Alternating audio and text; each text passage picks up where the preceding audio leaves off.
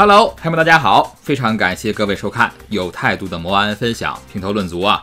那今天呢，我们不看高达模型啊，来看这个高达模型的周边配件，就是这个壁垒模型出的这个 PG 能天使发光的地台。呃，目前呢，主要还是想看一看这个样品的表现和大家的反响如何啊。如果好的话，评头论足店铺可以适当的上个新。而另外呢，本期准备了一个同款地台作为礼品啊。这个活动规则呢很简单，就是在这个视频下方点赞、收藏、留言就可以参与了。但是注意啊，是有字幕的平台。其实啊，说实话，壁垒这个品牌呢，之前就接触过。那最早呢，应该就是超新星的双头龙地台了。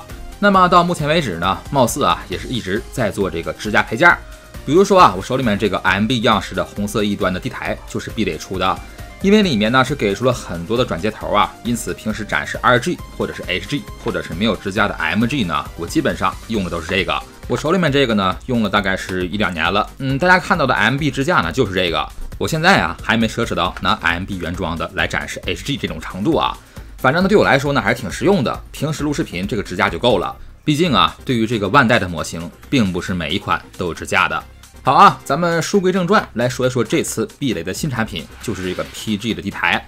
呃，盒子呢，朋友们也看到了，还是挺薄的。打开之后能够发现，里面就是一个地台，没有支架啊。那么作为这个配件部分呢，首先这边是带了一个遥控器，嗯，没错啊，遥控器。我发现国产的配件呢，还是比较喜欢使用遥控设备的。可以看到啊，这个按钮呢，还是挺多挺复杂的。呃，上一次使用遥控器啊，我记得还是西安州那个凶相的哈罗遥控器。那么在这个盒子背面呢，针对遥控器的按键是进行了一下简单说明，主要呢就是开关、呼吸效果的频率、灯光的颜色和灯光的明暗啊。然后呢，在这个地台部分的结构，咱们可以简单看一下，在这个尺寸方面呢，虽然说没有对比啊，但是呢和 PG 能天使的差不多。但是表面啊，因为内部有灯，所以可以看到有不少的透明件安装在正面，主要呢就是一个环形结构。然后呢，在这个中间这一块呢，地台里面是给出了一些替换用的名牌，虽然说看起来都差不多啊，但是呢，针对上面的文字有些区别。比如说能天使 R 一、R 二、R 三，包括雪崩，不知道之后万代是不是真能出这么齐的能天使样式啊？但是呢，肯定也是有备无患了，喜欢哪一个换上去就可以了。其实呢，也不怎么明显啊，因为看着都差不多。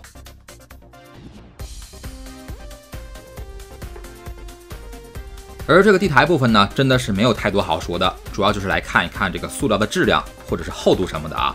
这个材料呢看着还行啊，但是呢摸起来还是会感觉不如万代地台的质感那么好，那么厚重。而这个地台表面除了比较明显的透明件之外呢，还能看到一些细节处理，嗯，倒是和能天使外加的一些小镂空细节风格呢是比较接近的。那么对于这款地台呢，主打的还是功能性。虽然说外形固然很重要啊，但是呢，我个人倒是没有感觉特别惊艳。当然，咱们还是得开灯来看一看表现怎么样。其实呢，本身地台啊带有一个电池盒，是安装在边缘的，总共使用四节五号电池。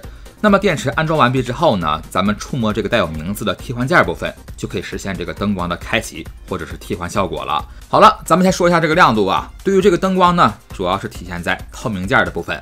当然哈，要是成型色的话，也透不过来。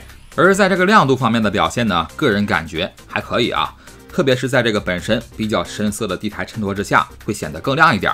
不过呢，对于这个光效啊，主要还是以渲染气氛为主。大家可以看到，这个灯光呢，主要是分布在环形的弧度位置，而这个灯泡呢，还是肉眼可见的。等到了这个面积稍微大一点的位置，灯光效果呢，确实是不如窄的地方明显。那么通过这个按键和这个遥控器的各种调节呢，我们可以实现几个功能。比如说这个灯光亮度方面的显示，嗯，从低到高有那么几个档位啊。然后呢，各种颜色的变化，什么赤橙黄绿青蓝紫啊，包括白光，都可以在这个地台上面显示出来，感觉和我的鼠标还是挺像的。而对于能天使而言啊，色彩的变化还是挺重要的。嗯，毕竟啊，又是普通啊，又是三红，所以呢，对于什么蓝呐、绿呀、紫啊、粉啊，或者是红这几个颜色还是比较重要的。而另外呢，刚才也是提到过了啊，就是这个呼吸效果带有多种节奏的变化，可以从慢到快进行选择。当然啊，也可以是一边呼吸一边换色，反正是一般鼠标上常见的那些效果呢，在这个地台上都可以实现。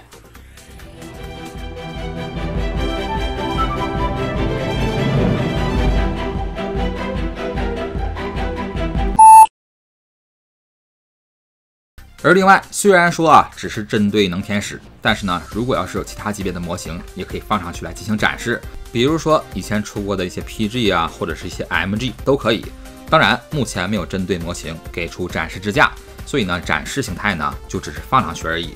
但是呢，地台部分针对外接支架杆的空缺是利用了一个分件来进行遮挡，因此呢，除了前面的电池盒，其他部分的结构看起来还是相对完整的。那么既然啊是作为能天使的主题，当然主要针对的就是 PG 能天使啊。呃，要是使用的话，其实是需要配合原版的结构来进行安装。嗯，刚才说了这么多啊，大家可以看一下目前柜子的情况，已经完全看不到了。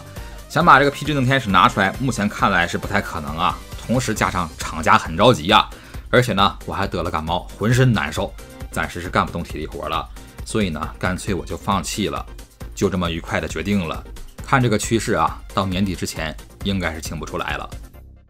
但是呢，咱们可以简单的说一下，那么在这个部分需要使用到原厂支架的东西有两个。一个是原版的电池盒，而另外一个是原版的支架杆。这些部分啊，都是可以通过安装嵌套到这个壁垒的这个地台上的。可以看到啊，在地台部分是针对功能性进行了加强，嗯，主要呢就是这个表层的放光。但是呢，有一个部分可能会让人感觉心里面不太得劲儿啊。最起码，嗯，我是这么看的，就是电池仓呢，当前是针对两个部分来进行供电，一个呢是地台部分，而另外一个是针对本体部分。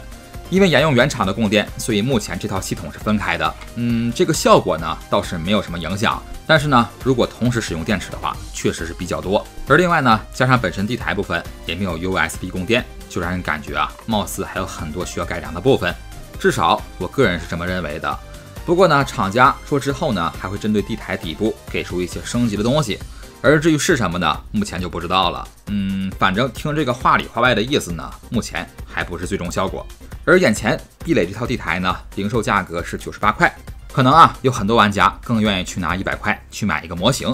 不过呢，本期福利会送出一个，不需要钱啊，针对本期视频下方进行点赞、收藏、留言就可以了。而另外呢，朋友们喜欢视频的话，多多点赞、投币、收藏支持，同时订阅评头论足的频道账号，最新的节目更新都会第一时间推送。我们下期节目不见不散，拜拜。